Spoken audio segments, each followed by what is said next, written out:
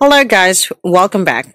Well, today we are going to talk about the wiper blades for this 2016 Nissan Leaf.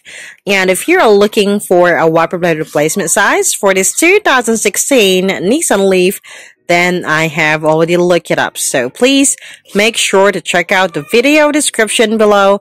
I will leave the information there as well. Now, the wiper blade replacement size for this 2016 Nissan Leaf is the one that you see right here.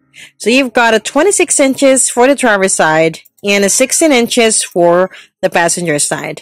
Now, it is important to know that these vehicles have different blade sizes. Also, there are many reasons as to you may want to change your wiper blades, and they could be getting old, or you could end up in a situation where you may be caught up in a storm. And the last thing that you want is not being able to wipe up your window. Now, of course, it is a good practice as well to change them every six months to every year. And that depends on how often you use your vehicle. So if you do know a cheaper way to get these and sizes, just let the rest of us know and leave a comment on the comment section below. Alright, so there, thank you guys for watching and be sure to subscribe.